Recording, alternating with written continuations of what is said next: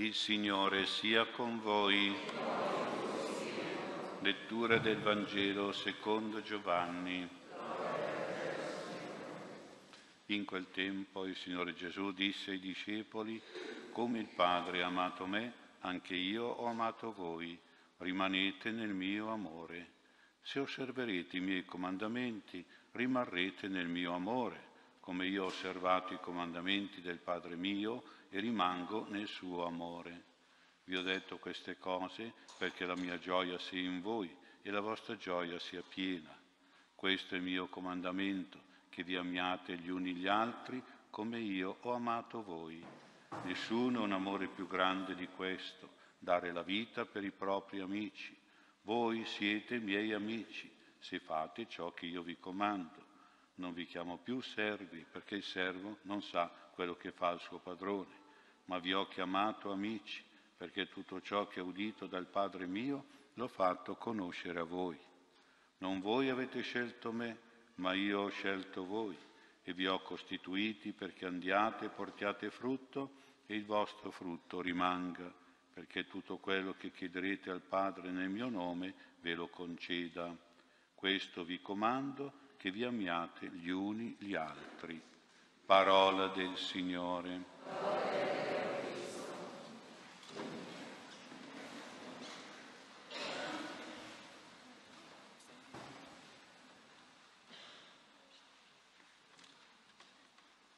Ha lodato Gesù Cristo. Questa domenica è la domenica dell'amore, dell'amore del pastore per le sue pecore e dell'amore delle pecore tra di loro.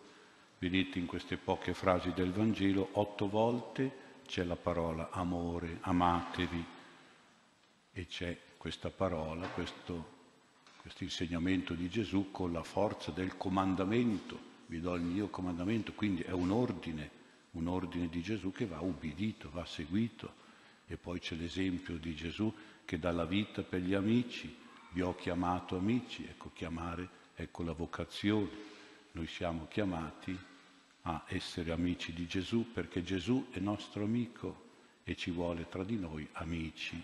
E queste immagini di Gesù che ci è amico e ci vuole bene è raffigurato dall'immagine del pastore che ama le sue pecore, l'immagine delle pecore che si vogliono bene, realizza il comandamento di Gesù che dice amatevi gli uni gli altri.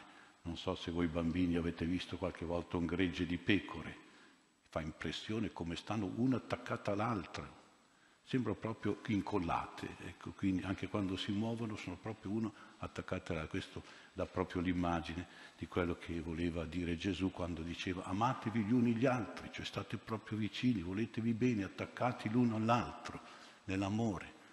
Naturalmente il gregge sta bello unito, ma davanti chi c'è? C'è il pastore che guida il gregge, che ama le sue pecore. Io penso che anche voi bambini, se avete un gattino o un cagnolino, vi volete bene. No? Ecco, quindi eh, Gesù prende questa immagine del pastore che vuole bene le sue pecore, le guida e delle pecore che si vogliono così bene da essere profondamente unite tra di loro. Ecco dunque, qui possiamo dire, è il Vangelo dell'amore che ci deve essere nel gregge di Gesù, naturalmente, però questo gregge è guidato da il buon pastore che ci ama e ci vuole bene.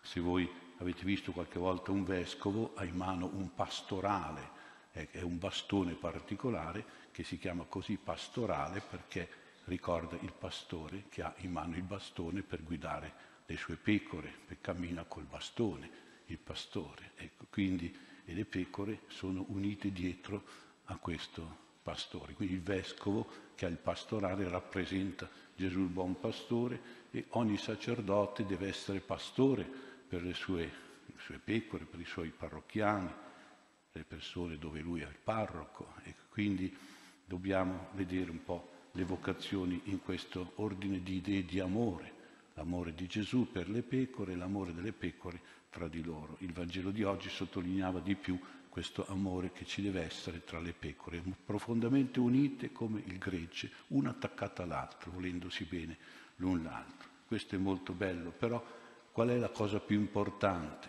La cosa più importante è che il pastore deve amare Gesù Gesù è il buon pastore, il sacerdote deve voler bene al Signore. Diciamo che deve proprio avere un amore particolare. Ricordate Gesù che a Pietro ha chiesto tre volte, mi vuoi bene, mi ami tu Pietro? Pietro è il pastore più grande, no? come il Papa, il primo pastore de, di tutta la Chiesa. Mi vuoi bene? Tre volte gliel'ha chiesto per dire al massimo. Ecco. E lui ha sempre risposto, Pietro, anche se si è ricordato che una volta aveva rinnegato Gesù, ha detto, eh, Signore, tu lo sai che ti voglio bene. Allora, se mi vuoi bene, pasci le mie pecorelle, pasci, cioè sii pastore delle mie pecore. E così il sacerdote prima deve voler bene a Gesù, deve essere, per così dire, innamorato di Gesù e poi deve voler bene alle sue pecore, pasci le mie pecore. Mi vuoi bene? E io, io, ho detto a Gesù, sì, ti voglio bene, ti voglio seguire, voglio fare come te il pastore di, di una parrocchia. Di una...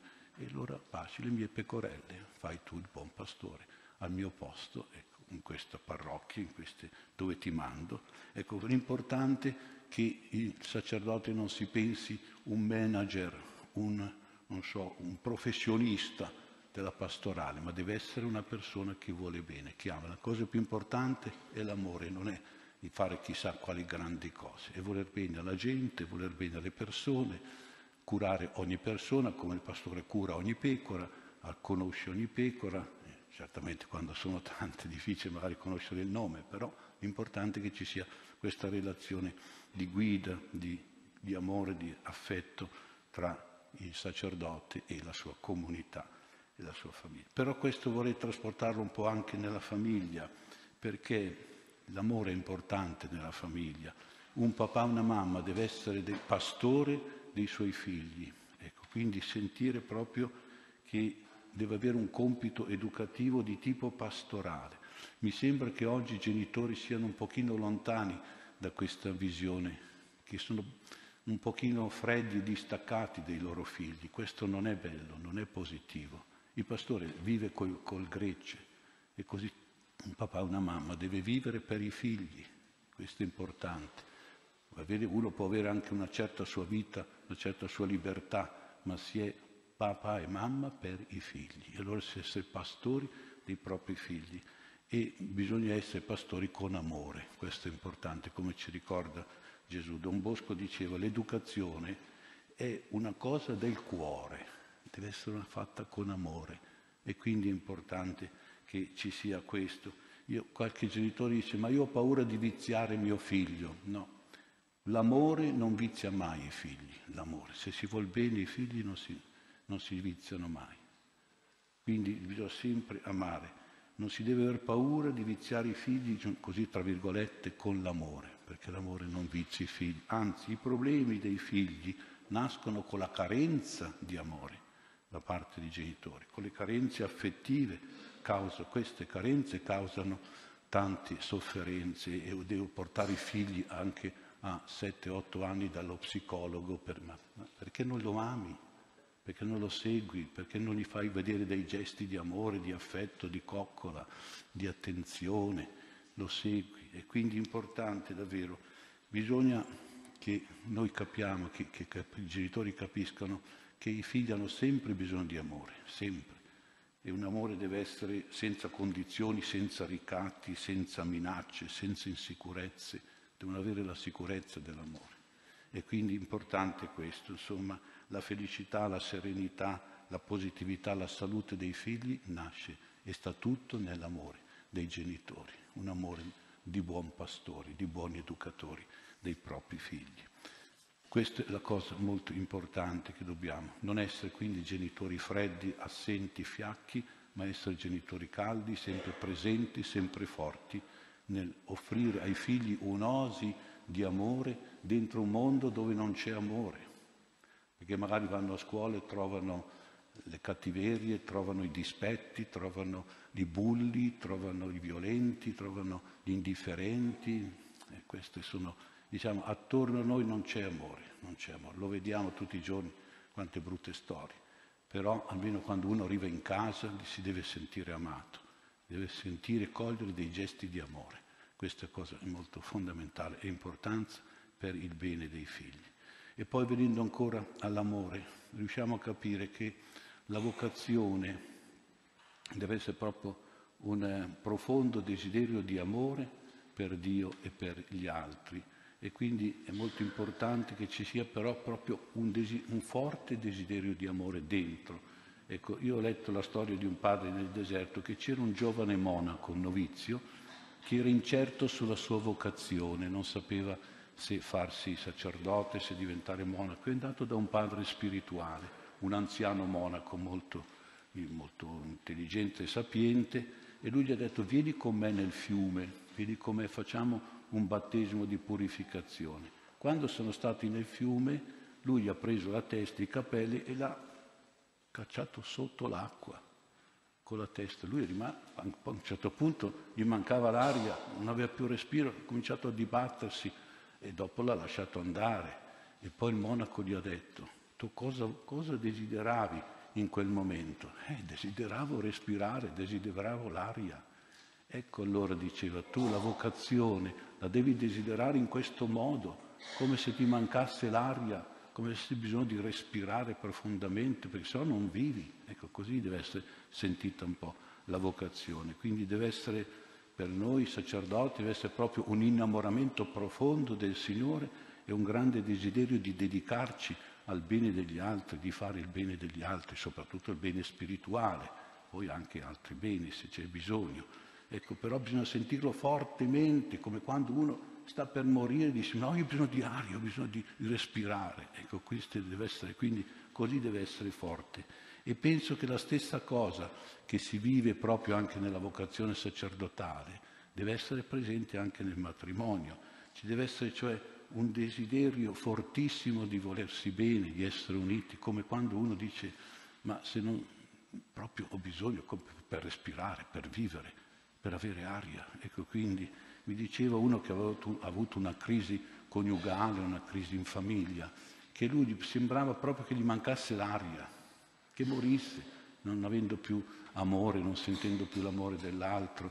Ecco, quindi è proprio questa. E allora vedete che però bisogna reagire davvero con un profondo respiro di aria, con un profondo senso di vita che si ha quando si ama e quando ci si vuole bene. Allora è importante questo e qui è importante capire quello che dice Gesù, amatevi l'un l'altro.